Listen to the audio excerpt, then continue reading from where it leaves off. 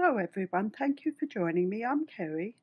Today I'll be showing you how to crochet this beach chair. The size of the beach chair using 8 ply wool, this one here, is 14 centimetres by 10 centimetres or 5.5 inches by 4 inches.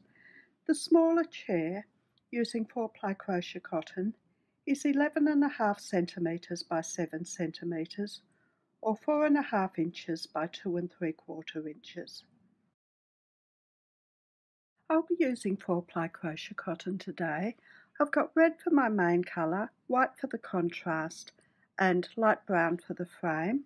I've got a darning needle to weave in the ends, a 1.25mm crochet hook, scissors and a sewing needle and thread to stitch it together. Now I start at the side of the seat using my main colour which is my red. And I work 27 chain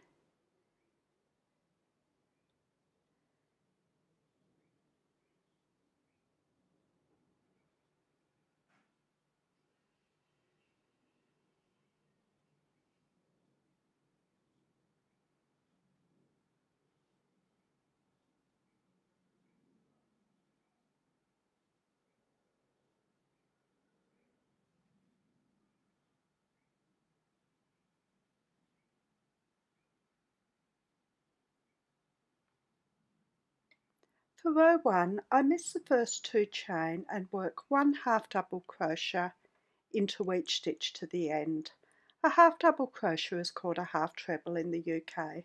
For a half double crochet I put the yarn around the hook, hook into the stitch which is my third chain from the hook and bring through a loop, yarn around the hook and take my hook with this yarn at the end through the three loops. And then I repeat that in each stitch to the end.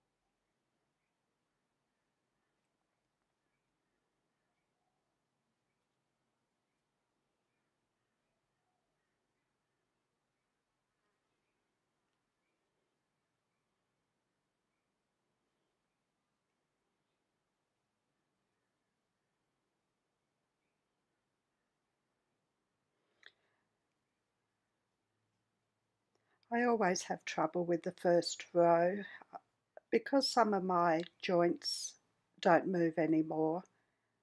My fingers don't bend enough to be able to hold them properly.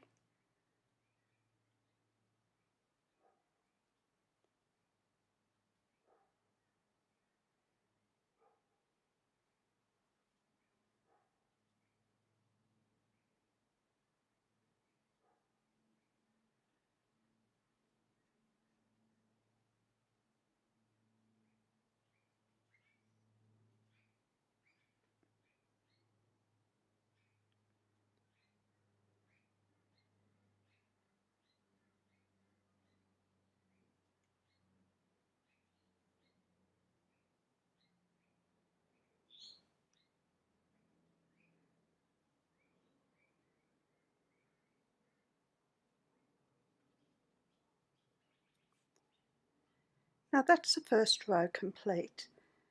I pull a loop out and leave the red and I'm going to join my white in the top of the chain there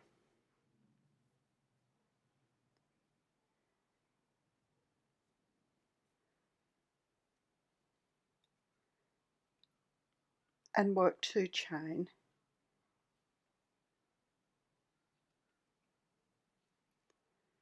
and then I'm going to work a half double crochet into each stitch to the end. I'm going to be crocheting in that tail.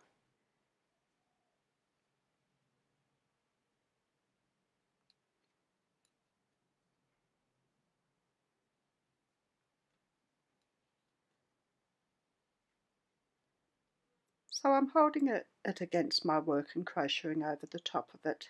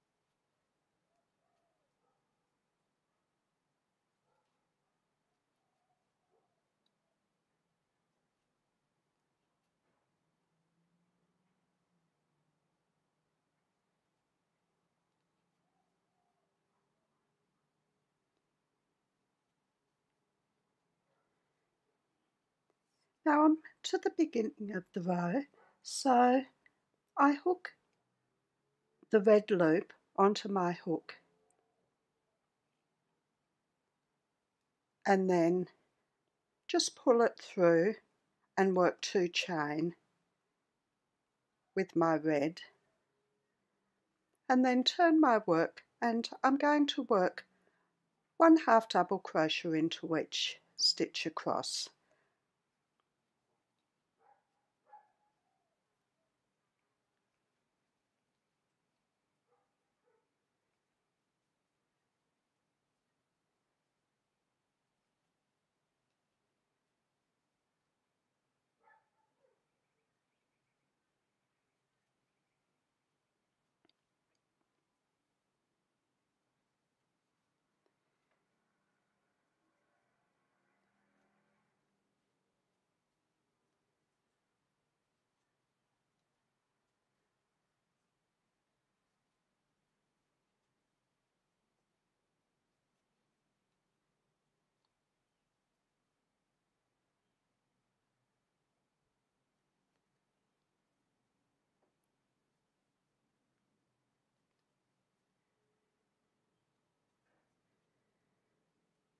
This cotton splits a bit, but it has beautiful colours and very affordable, so a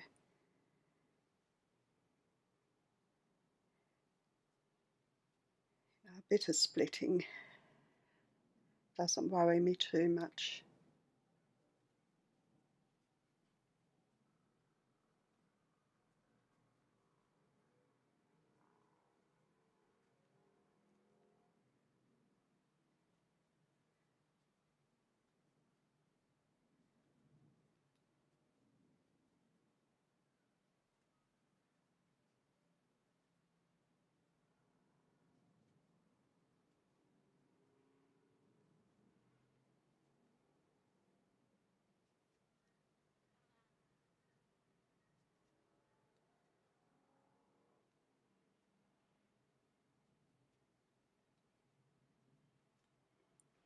At the end of the row we pull our loop out a bit and then we're going to bring our white cotton to the top so just put your hook into the top of the two chain and bring your white cotton through and work two chain. Now it doesn't matter if the end doesn't look really good because we're going to turn it over the top of our frame and then we work one half double crochet into each stitch across.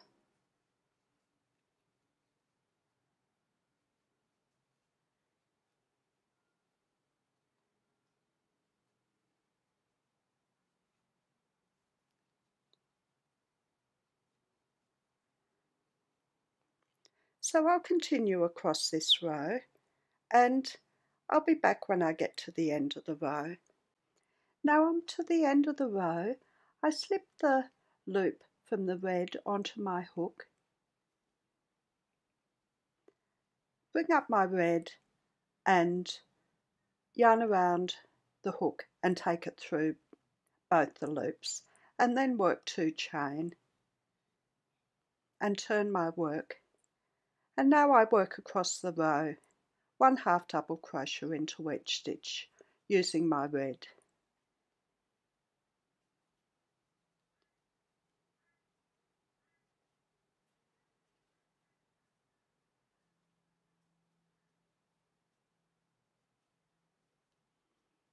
So I'll work this row and I'll be back. I'm at the end of the row so I pull my red loop out and I join in my white. I put my hook into the top of the chain, bring the yarn round to the back and bring a loop through and then work two chain and then work one half double crochet into each stitch to the end.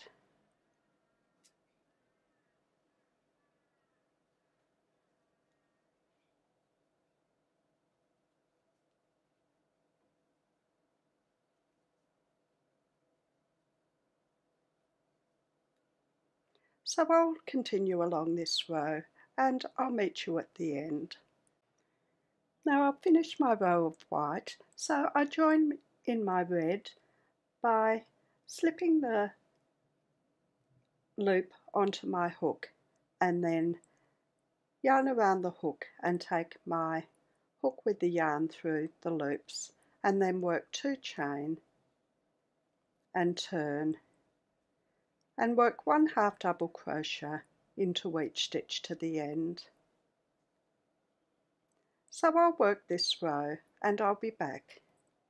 I finished my row of red so I pull the loop out and join in my white put my hook into the top of the chain and bring the white yarn round to the back and through the loop and then work two chain. We've got two more rows to go and then I work one half double crochet into each stitch to the end.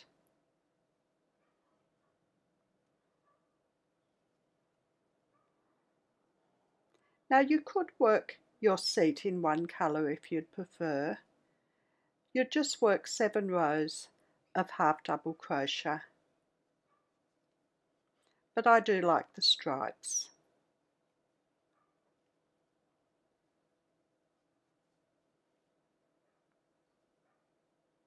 So I'll work this row and I'll meet you at the end. Now that's the last of my white rows complete. I join my red in again.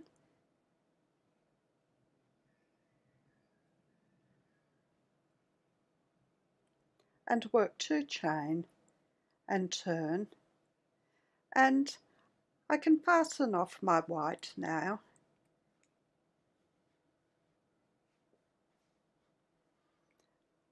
and then work one half double crochet into each stitch to the end.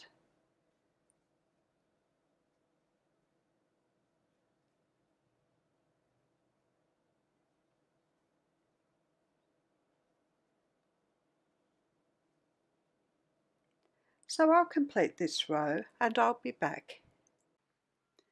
And that's the seat finished. I'll fasten that off.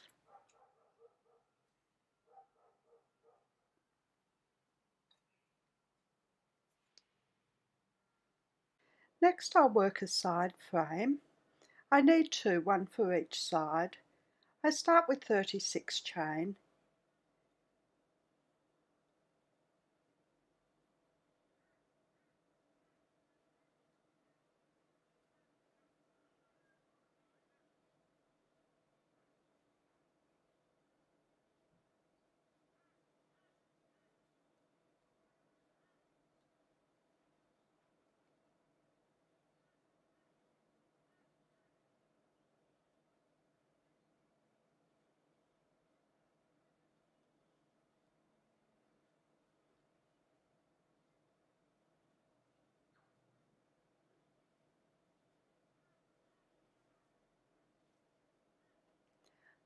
I miss the first chain and I work one single crochet into each chain to the end. A single crochet is called a double crochet in the UK. For a single crochet I put my hook into the stitch and bring through a loop. Yarn around the hook and take my hook with the yarn at the end through both loops.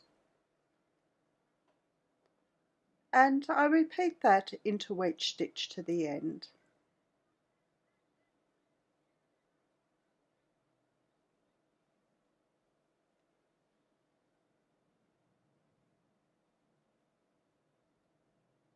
This beach chair was a request, but I may use it on my teddy bear's picnic blanket.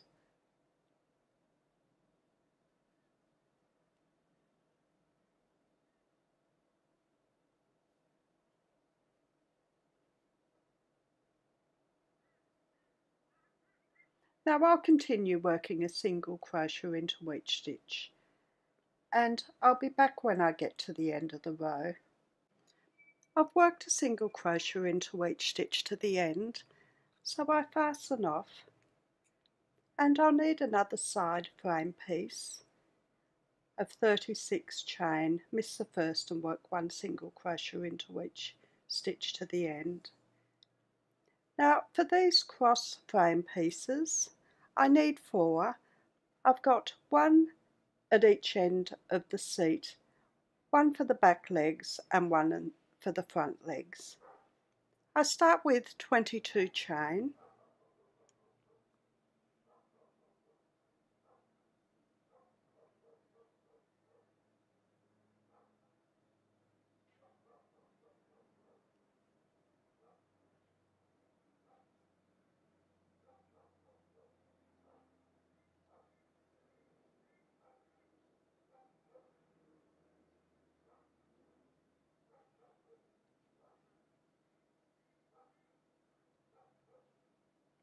I miss the first chain and work one single crochet into each stitch to the end.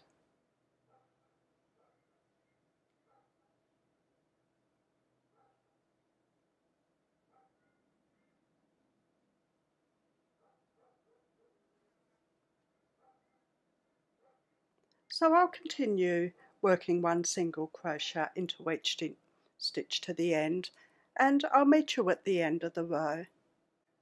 Now I've got my one single crochet into each stitch to the end so I fasten that off and I'll need three more cross frame pieces. That's working 22 chain and then miss the first chain and one single crochet into each stitch to the end. Now for these two back legs, one there and the one the other side, I start with 17 chain.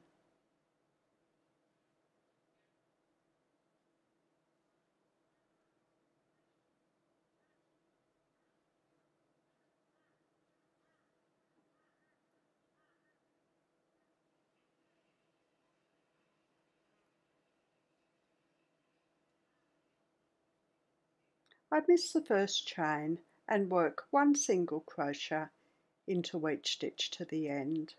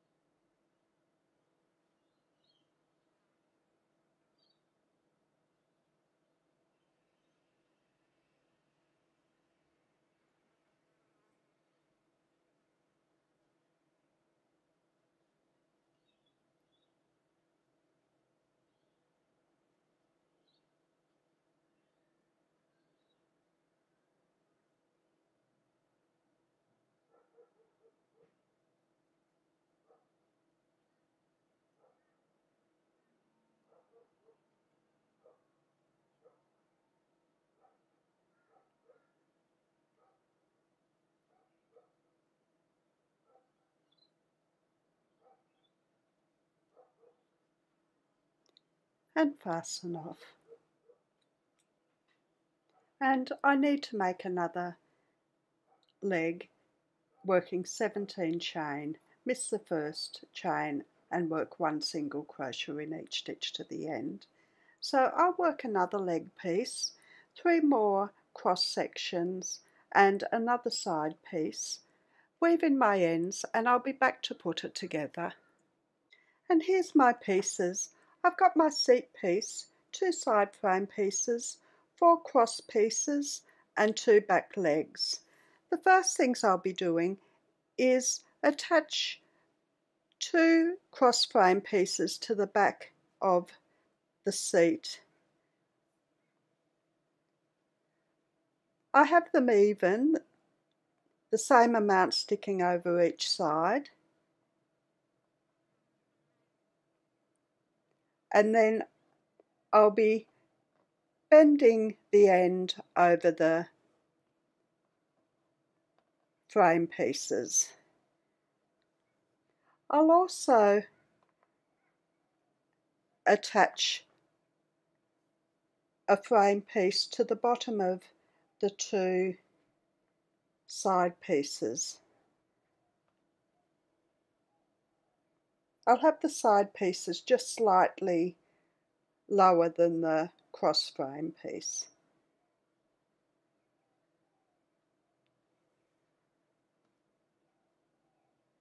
So about there. And I'll do the same with the back legs. I'll put a cross frame piece across the bottom. The legs will stick slightly lower than the cross frame piece. So I'll do those and I'll be back. The next things I'll do is stitch the end just over the crossbars a bit and then I'll attach the side pieces to the crossbars but I'll have a tiny bit sticking up at the top so just in like that on each side with a bit sticking up. So I'll do that and I'll be back. Now the last thing we do is attach the back legs about halfway up the seat on the frame.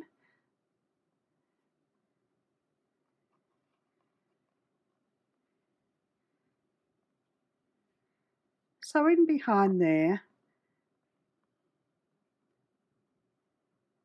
just about there. It's just hanging down a little bit and it's off to one side. So I'll put it to that side. So I'll attach that and I'll be back to show you the finished chair. And there's the finished beach chair. If you like my video, please like, subscribe and share. I'm also on Instagram, Pinterest, Facebook and Twitter.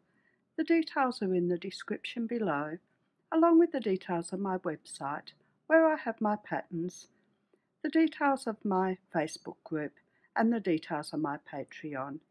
Thank you for watching. See you next time. Bye.